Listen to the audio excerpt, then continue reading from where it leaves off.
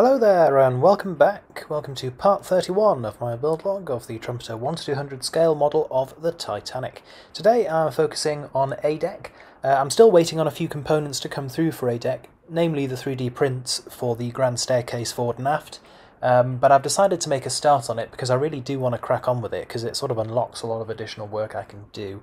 Uh, so today I'm preparing the forward section, uh, adding window frames, painting, doors, that sort of paraphernalia, um, and I'm going to make a start on the writing room as well. So I will hand over to myself a couple of weeks ago and crack on.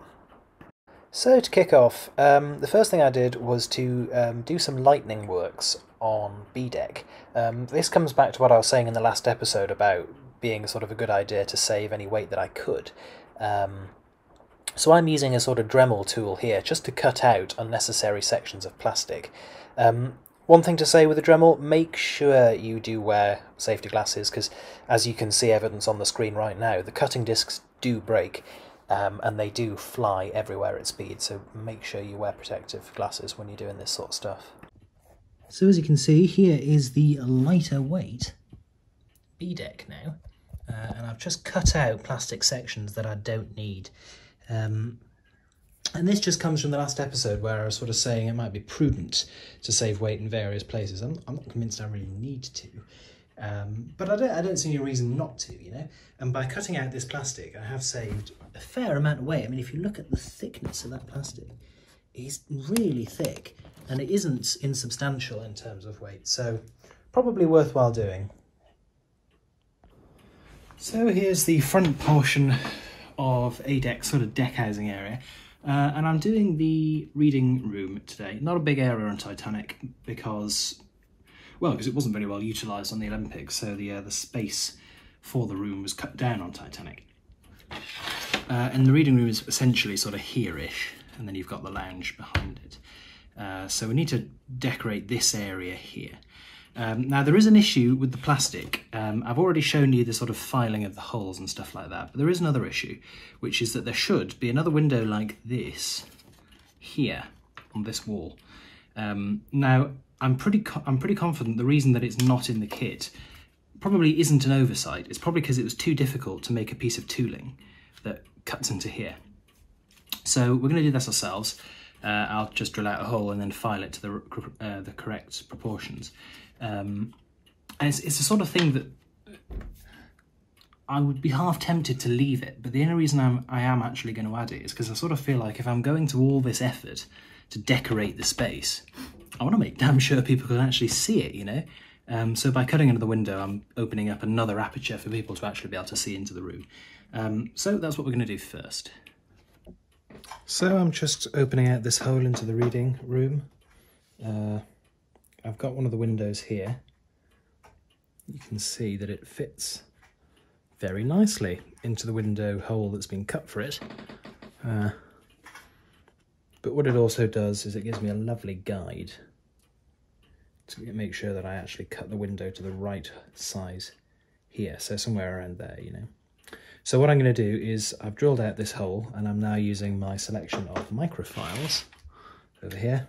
Uh, currently I'm using the circular one, but when I get nearer the end, I'll start using the flatter one so I can get straight edges. And I'll just open out that hole slowly. Um, as with most things modelling, uh, slow is the optimal word here. Work nice and slow, and you're much less likely to make any mistakes.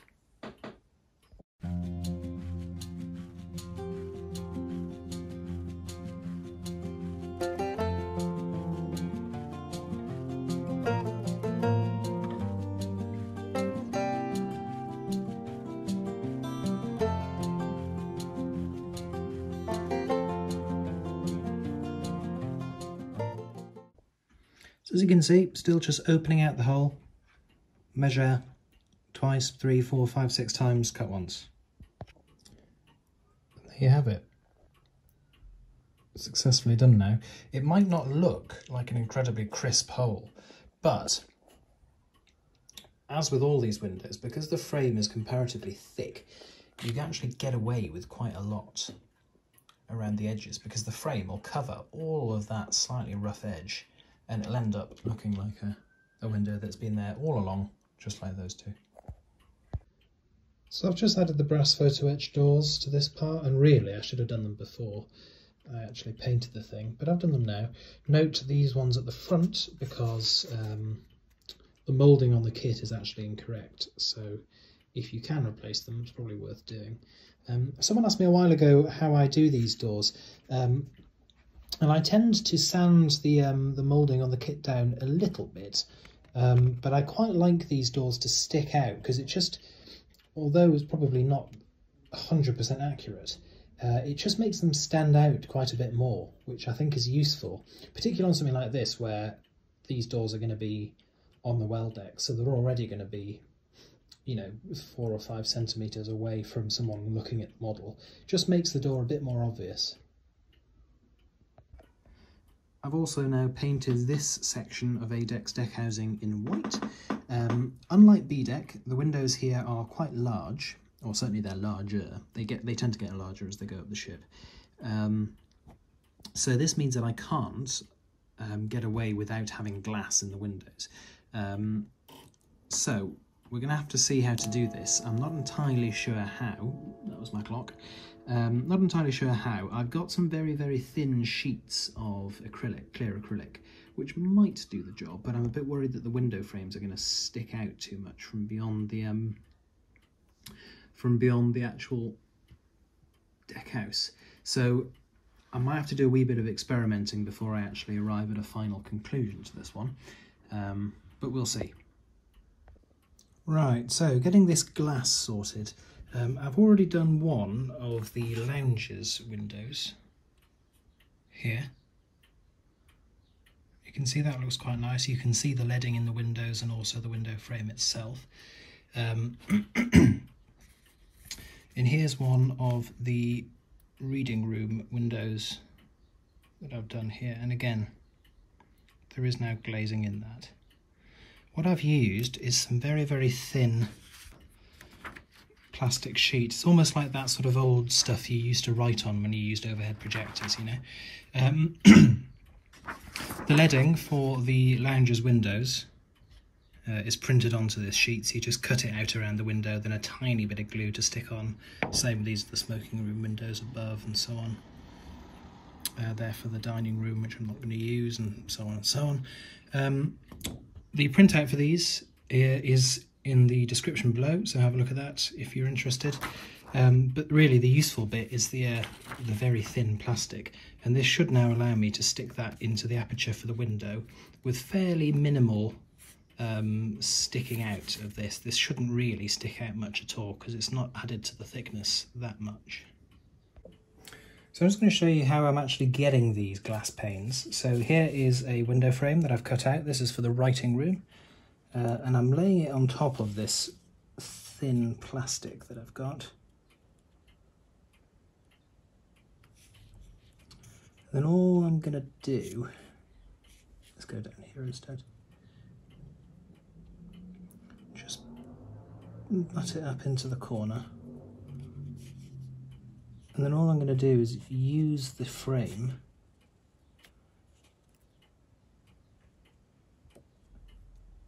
as a guide. So I'm not cutting there, but I've scored the glass. I'm referring it to as glass. I mean, it's not, it's plastic, but there you are. And then I can go along and cut it when the frame isn't there. So there's a bit less risk of damaging it or anything like that. Because remember, all these bits are fiddly.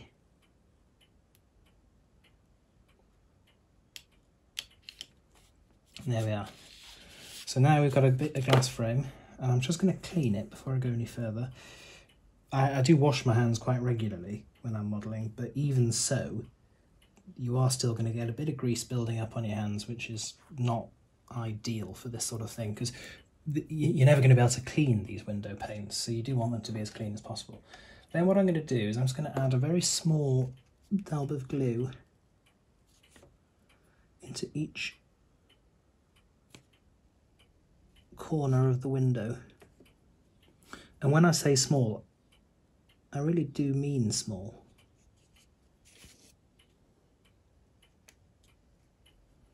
So there's four of those now.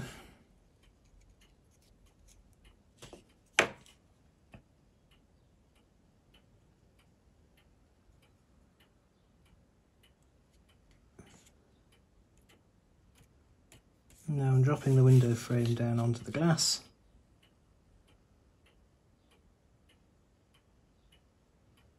Just holding it in place. I'm touching the back of the window because that's the bit I can clean, but the front I'm not touching because I'll not be able to clean that. And that will dry relatively fast. There's actually, there's still a wee bit of overlap there, so I will just go and chop that off.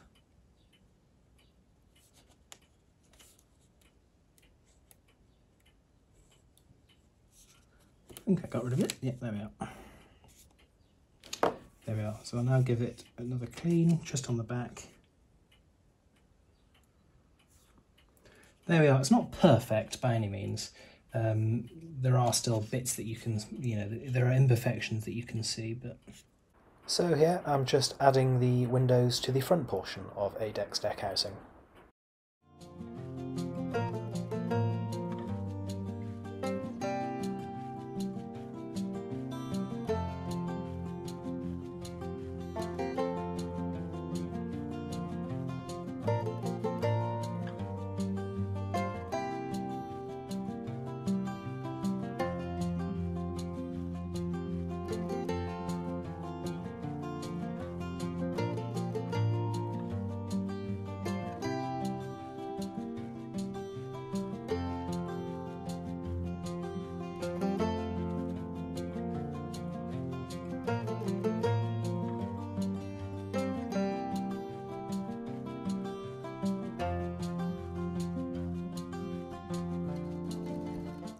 Right, I'm just going to go over again how I do these windows because uh, it's not necessarily clear to everyone when I do a time lapse. So, glue them in with Flex CA. Uh, first things first, I cut out the window with a sharp blade. These have all been pre-painted in the appropriate wooden colour. And then I tend to turn it over onto the shiny side just to check that I haven't left any nubs of metal exposed because they will stick out a bit on a white background. Um, that's what I do next. Then I use one of these. This is a, uh, a pin sewing needle, which has just had a sort of like cut taken out of it. So it's got a step on it. And this is great because you can get some glue on it and then use that little step to slot into the window frame and you get a really nice accurate application of glue all around the window like that. then it's a case of picking up the window frame with a piece of Blu Tack in my case and placing it into the aperture and just making sure it's correctly seated. There we are. And that'll dry of its own volition quite happily. And here's a close-up, and they do look really nice, don't they? I think the um, the crisp lines between the white of the deck house and the brown of the actual window frames themselves really makes them pop, makes the thing stand out.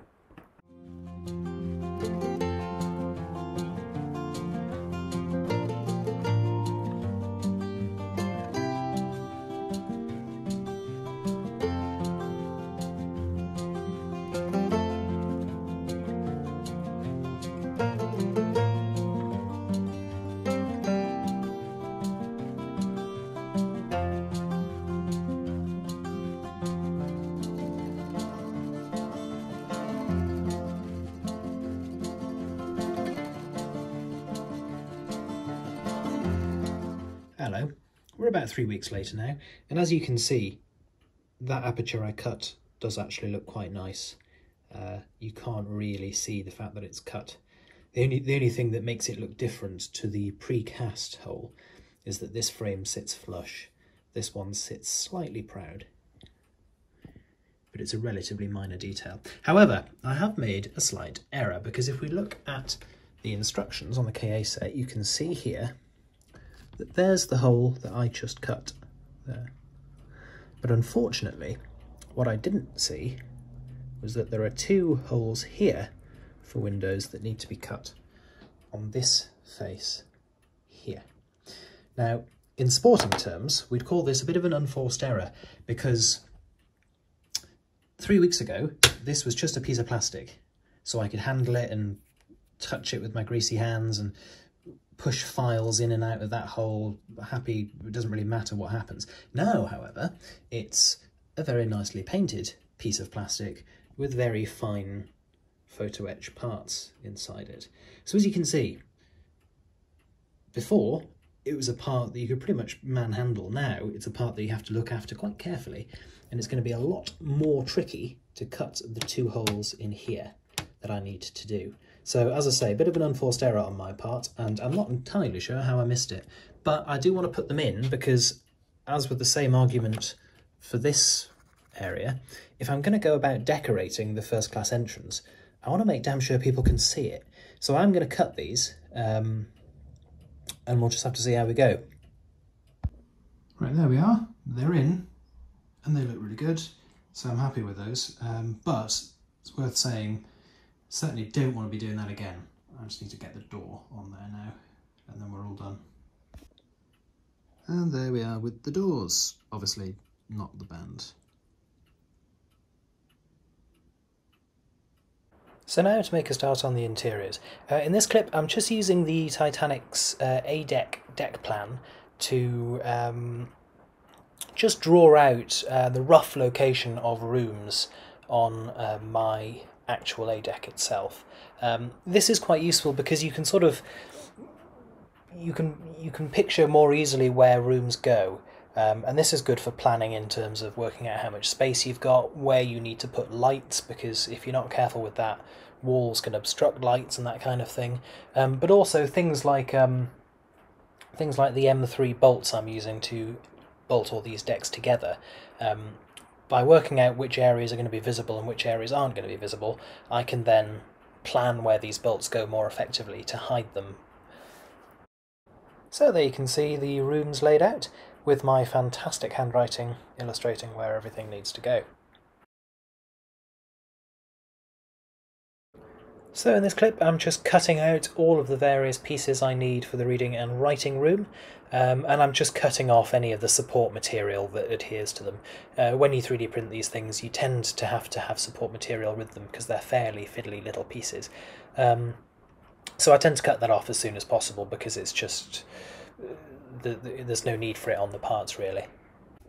So here we have all of the furniture for the reading and writing room in a glass of alcohol. Not my best vodka, I have to admit. This is isopropyl alcohol. Uh, and we're just cleaning off that sort of UV resin stickiness that you get. Because of the process, the way these are made, these are made by um, UV resin um, 3D printer, you end up with a small amount of uncured resin sticking to the parts. Uh, and you can remove that by just dousing and rinsing these in alcohol beforehand. And that stops them being horrible and sticky and makes them nice and uh, smooth, and then I can sand them down and then paint them. Once you've got rid of all the stickiness with the alcohol, um, you sort of reveal the final shape of the part. Um, and occasionally there's a few little issues that you need to sort of sand off. So in this clip I'm just going through each of the parts individually and just making sure that there aren't any little additional nubs of plastic that need to be sanded off or any slight forming errors or anything like that that needs to be addressed before I move on to painting. Right, so that's all the furniture now sort of trimmed down and all the excess parts taken off. So before we go any further and paint, I am just going to give them a second rinse in alcohol.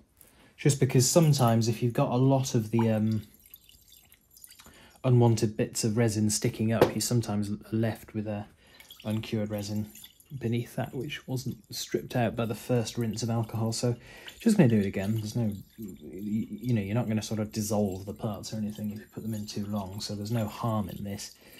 Uh, it's a bit of a messy process you can see. You end up with sort of bits and bob offcuts everywhere and dust and stuff. So um, it's not the nicest process in the world but you do end up with very nice furniture. And so once it's done, you can see now the water's, the, the alcohol's a lot more murky than it was. Uh, and once done, I just get them all out. And just leave them on a piece of tea towel or cloth for a few minutes to dry. Of course, the beauty of alcohol is it doesn't really need to dry. It's, um, the alcohol will evaporate off. So, you know, give it five, ten minutes and it'll be completely bone dry anyway. Um, it's not like water, which might take quite a while. This will just evaporate off sharpish. And there we are. These are now ready for painting. So just in preparation for the painting, uh, I'm doing exactly what I've done before. Um, and this is the first model I've actually used this technique, but I absolutely love it. I think it's brilliant. Um, it just seems to work really well. So what I've done is I've got some upside down masking tape here and then held on with right way up masking tape over there. And all I'm doing, I'm just sticking all of the pieces that require painting onto it. And this, theoretically, holds the pieces in place while I paint them.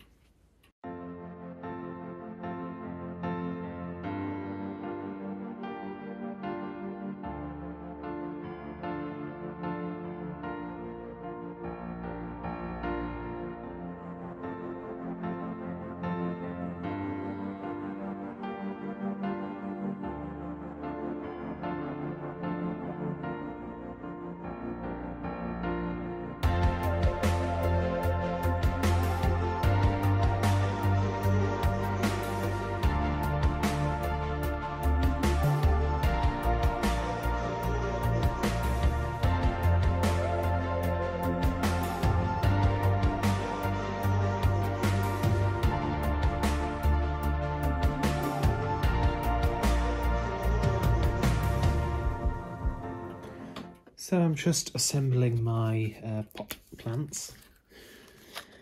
Uh, and it's the same process I did last time, but it's quite a while since last time, so uh, I shall show it.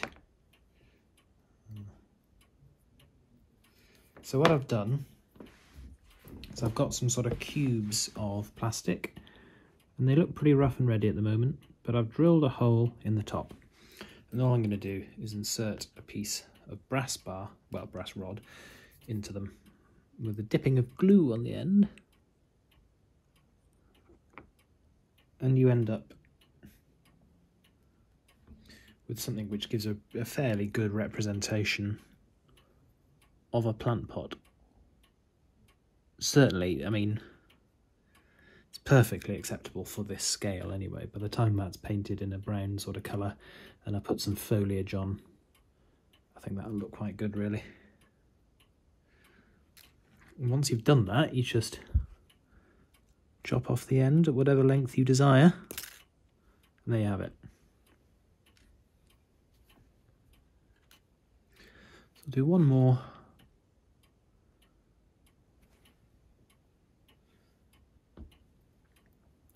I'm making 10 plant pots for the writing room. Whether I need all of them or not, I do not know. We will see. There we are, same again, glued in place.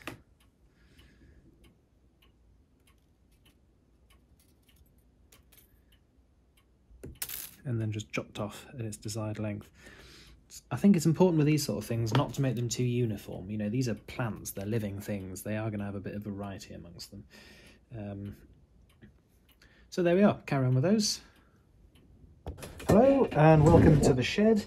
Um, I'm just about to spray the furniture for the writing room. You'll notice that I've taken out the fireplace uh, because that isn't being painted, uh, or at least not yet.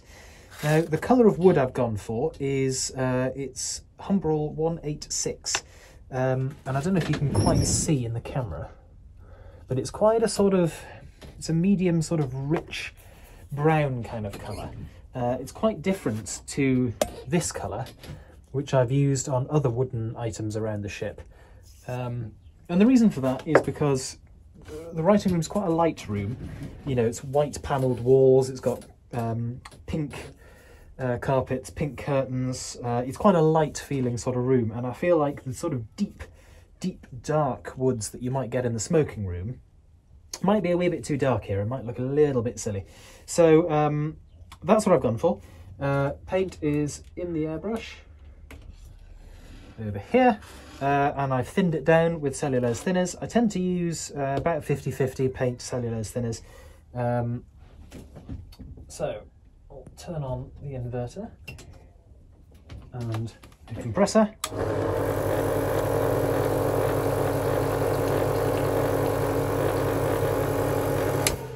Uh, what I'm doing there is I'm just putting my finger over the airbrush so that the air pressure can't escape uh, and then pulling back on the stick. And what happens is the air is forced back through the cup and it provides quite a useful means of mixing up the paint in there. Um, so you don't end up with the thick paint at the bottom going through the, uh, the needle and the thinner cellulose thinners at the top. So I'll just check it's actually flowing okay and then we'll crack on.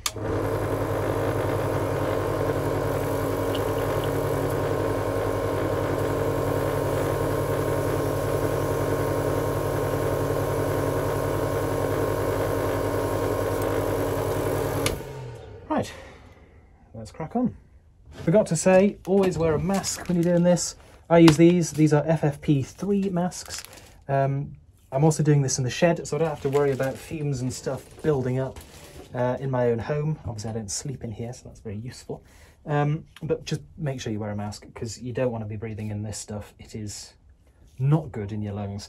Neither is enamel paint. I also tend to wear glasses because I don't really fancy having either of these things in my eyes either. And when you're doing stuff like this, you can get paint splashing everywhere. So the take home message is just be careful with this sort of thing, really. Right, let's crack on.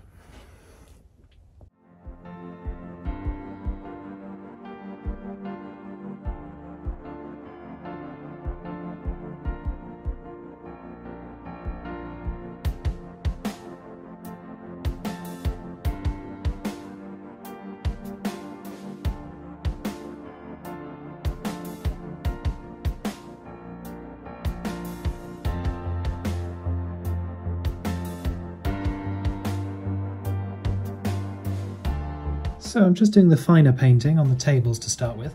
and from what I can tell, the tables have sort of tablecloths on them. Um, so that's what I'm trying to recreate here. I've got obviously the wooden legs and then the tops have been painted in a cream colour. Same cream colour that I used in the a la carte restaurant. Uh, and the number is Humbrol 103. So I'm going to use that on all of the table covers. I'm also going to use it as the base colour on the chairs. Um, I then might add some additional colours to represent cushions and that sort of thing.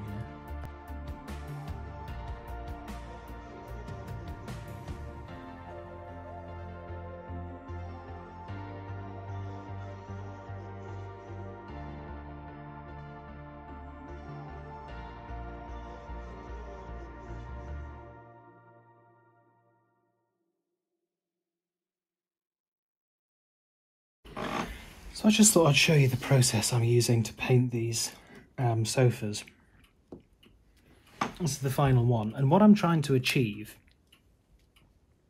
is I'm trying to achieve the look um, of an upholstered sofa but with a wooden frame.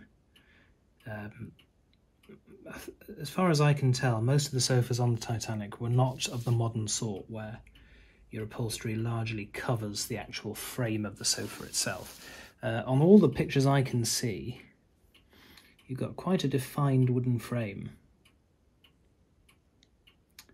uh, with upholstery surrounding it.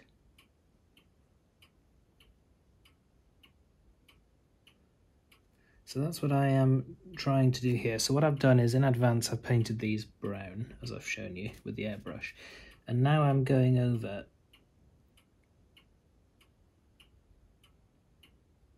with this cream colour paint, uh, which helpfully is quite thick, which is helpful in the sense I need to do one coat per um, per sofa, you see. See, I've now done the inside of this last sofa, and you can see that I've deliberately left the top uh, open. I'll see if I can paint this in such a way that you can see what I'm doing on the side as well. So I'm filling in the side to give the idea that there's a cushion there.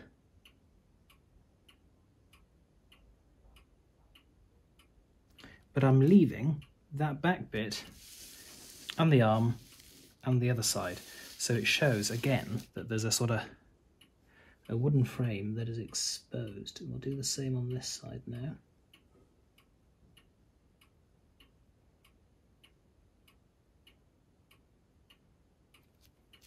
There you have it. So if I take you in closer now, you can see what I mean, that all of these sofas show. They have a sort of structure to them. So now when I add cushions, once this cream is dried, the sofas will look more like actual sofas and less like sort of cream blobs, you know. So I'm just doing the chairs and the idea I'm going for is similar to the sofas really. Uh, a wooden frame around the top where your arms would go, wooden on the legs, but then the actual, the sides, the curve and the actual sort of basin of the chair in cream.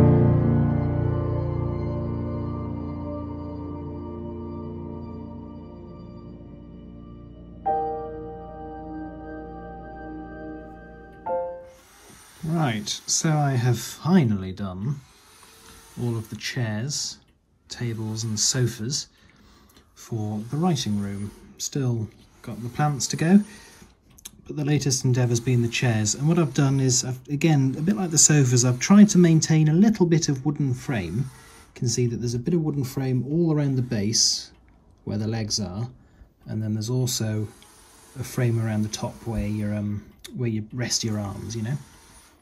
Uh, and I might, a bit like the sofas, I might put some cushions in one or two of them just to give a bit more sort of colour variation. Um, unlike the smoking room, um, this room will probably have a few people in it because my sort of, you know, 3 p.m. in the afternoon um, is the sort of time when this room might have been used in a way that the smoking room certainly wouldn't have been used in the afternoon. So um, I'll probably put a few more people in that. So the room probably won't be wanting for much more colour. Um, but, you know, little things like cushions and stuff will add a little bit more scenic interest. They just sort of, you know, catch the eye a bit. And that's the whole point of these sort of rooms, you know, just to sort of make an observer go, ooh, that's nice, you know, it just drags their attention in a wee bit more. So onto the plants next, and then I will start on the windows. Right, I'm just going to start doing one of my uh, plants for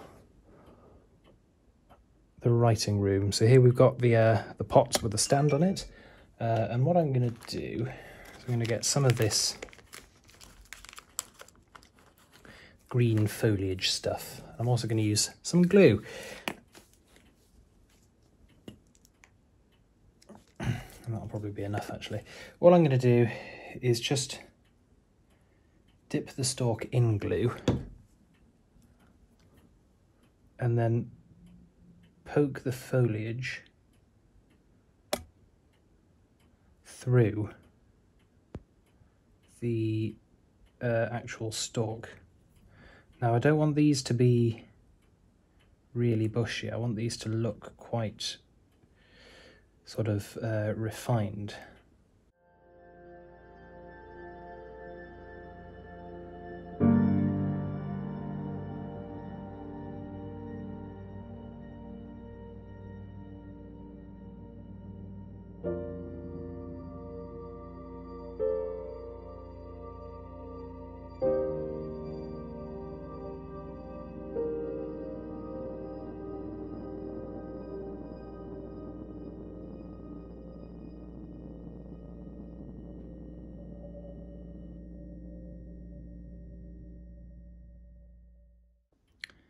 So there we are, and of course they will look better once the um, the glue has dried. Um, but what I've done is I've gone for some sort of like bulbous ones at the top, um, some slightly longer ones and thinner ones, so I've got a bit of variety, you know. Uh, I've got a bit of variety across the whole range. And I'll just fit these into the room in places where they look the best. You know, the sort of thinner ones might go in the corners and the, the rather more bulbous ones can go along the walls and that sort of thing. In this clip I am just fitting the carpet for the reading and writing room. Um, so what I'm doing is I'm cutting out a rough shape to start with uh, and then working the shape into the area that I need. So I'll start off by making some rough cuts, um, then trying to sort of impression the piece, uh, and then cutting around the more complex shape like the bay windows etc and then finally gluing in place.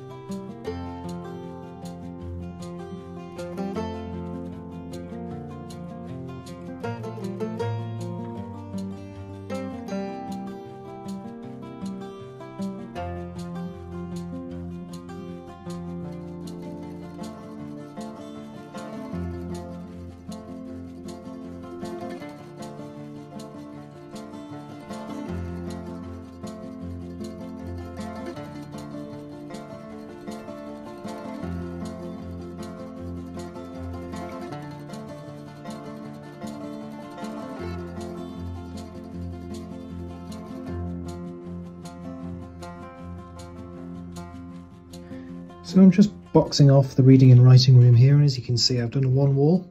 On this side we've got the white panelling and on the other the oak panelling. Uh, this wall will butt up against here and then I have another which is yet to be coated which goes here uh, like that and of course that's our reading and writing room. So we're at a point now where I can start test fitting my furniture in the reading and writing room. So, got it up on the screen in front of me. We can see what we need to do, what we need to go put where. So it's just a matter of actually test fitting some of this stuff now.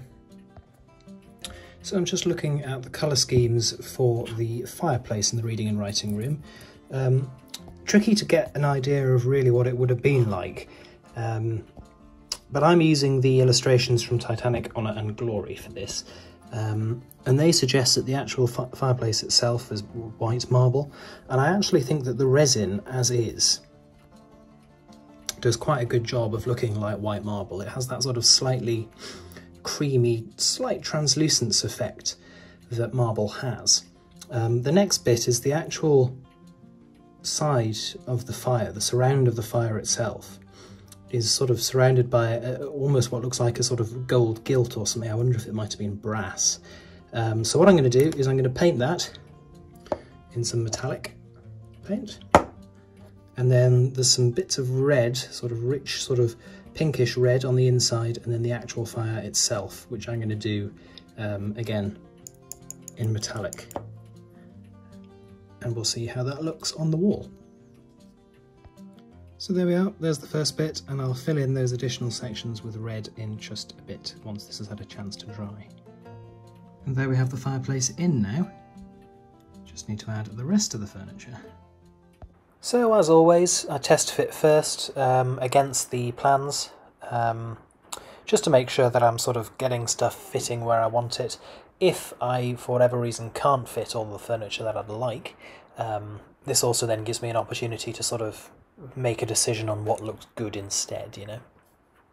It's an interesting learning experience doing these rooms actually because for the first time I'm sort of appreciating the um, the challenge that a ship builder might have fitting in these luxurious rooms around all the gubbins and equipment that you require on a large ocean liner. So we're getting there, slowly but surely. Most of the stuff isn't glued down, by the way. Uh, he isn't, she isn't, he isn't, is she? Essentially what I am trying to do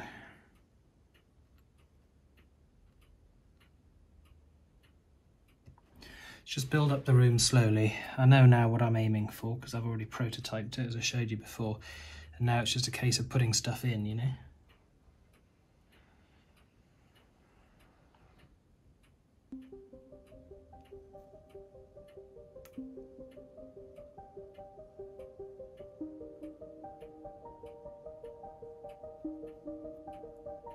thank you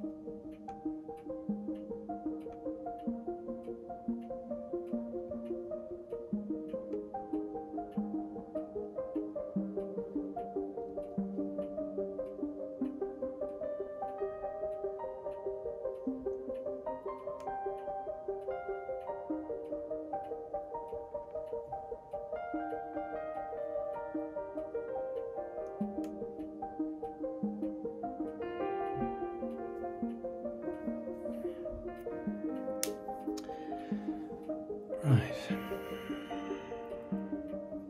For reference, by the way, the wall for the fireplace is here. It just sits up there like that. So the fireplace is flanked by two lovely trees or palms or pots or whatever you want to say. And then there's another sofa that theoretically is what's in there. It does actually fit, but it's just mighty tight. In fact, let's get that sofa in now so that it's, so it's in.